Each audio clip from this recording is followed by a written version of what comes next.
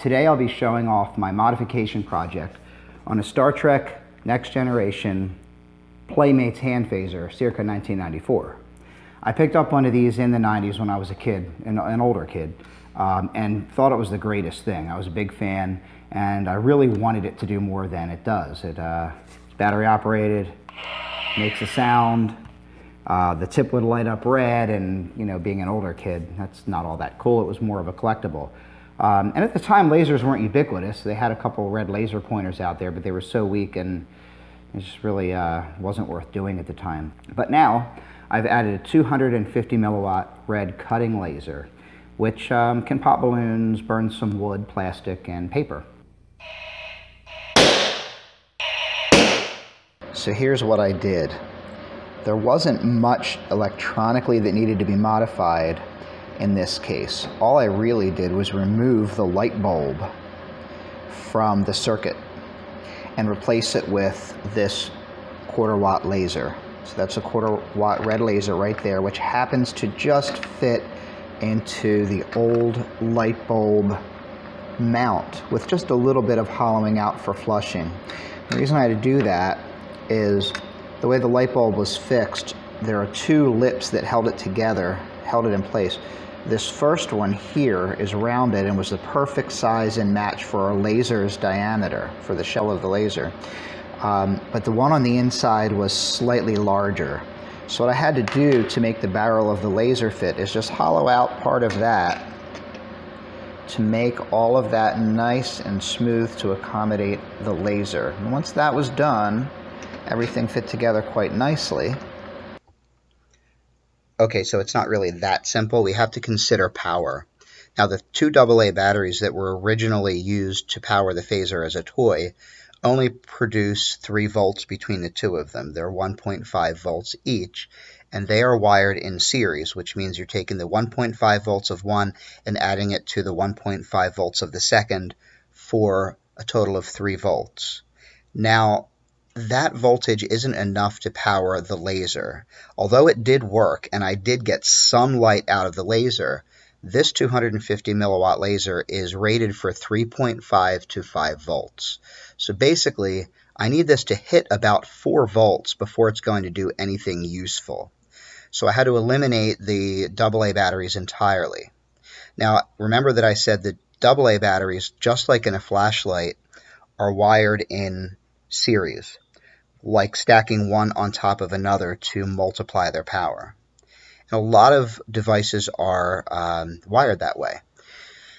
We need to change that to a parallel wiring um, for the laser because what I needed to do was upgrade to the 14500 3.7 volt lithium battery. So one of these green batteries has more voltage than two of the AA batteries. And that's why you see that I only actually have one in the phaser right now, because the truth is I'm afraid that if I put both of them in, I'm going to blow out the circuitry. The reason for that is, although I have them wired in uh, parallel, which means I'm not doubling the 3.7 volts, I'm actually going to be doubling the current, the amperage.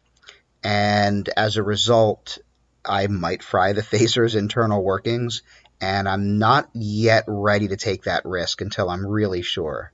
So I'm going to revisit this project later, probably put in even a more powerful laser, but for now I just don't want to fry it. It works really well. Um, once I'm a little more confident with the circuitry, maybe I'll put that second battery in. But just keep in mind you're going to have to rewire these batteries into uh, a parallel circuit whether or not you use both of the new batteries. Even if you're going to use one battery, you do have to rewire the terminals inside the case to make this work. Otherwise, uh, power won't go to uh, through the circuit because the second battery is missing. So um, in the next slide, I'm going to point out a few other details while the phaser is open before I put it back together. Um, you can see the twist focus lens housing uh, up front near the black emitter and that um, serrated top there, that is a twist, sort of a nozzle that allows you to tune this laser. This is a tunable or focusable um, 250 milliwatt laser. I got it on Amazon. Um, it's a complete uh, laser module, meaning the diode is, is built in and the driver is built in. Um, this one can be tuned by turning that knob. Now, I wanted initially to make it so that I could access that knob while I was using the phaser, but there's really not any way to do that because it really needs to be contained inside the, the phaser shell.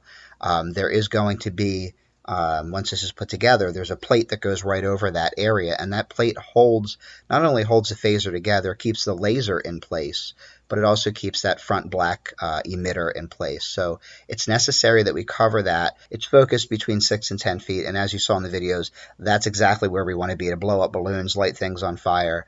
Um, that works well enough. But I could take it apart and just turn that knob and focus it for different uh, for different lengths. Uh, the wiring is pretty simple. You're just taking the light bulb wiring out and replacing the light bulb wiring with the laser's wiring, which is just a positive and negative cable. The blue goes right where you took the light bulb's uh, negative wire off the PCB. So where you remove that from the circuit board is where you're going to put that blue wire. That is a negative terminal on a circuit board. And we're going to take the orange wire and put that right to the battery positive. Remember, I rewired that battery in, in parallel. And so I'm going right from the positive terminal of that battery to the laser. Okay, so the switch is actually blocking current at the negative wire, and uh, when you push the button, it completes the circuit off of that blue wire. Now, the demo switch, which you can see near the arrow up on the right, was originally there to turn the phaser off while it was in its box on the toy store shelf. So when you push the button on the phaser, you would hear it make a sound, but it would not light up because with the way the box was designed, you couldn't see the tip of the phaser anyway, and they didn't want kids wearing out the demo batteries too quickly. So that switch actually disabled the light bulb. Now, in theory, you could use that switch as a backup to disable the laser. So if you flick that switch, you would still get your sound, but you would be disabling the laser. Because I have kids in the house, I thought, you know, maybe it's a good idea to just have that hidden in there that I could turn the laser off. And you certainly could do that. Okay, so that's daylight you see coming through the window in a darkened room.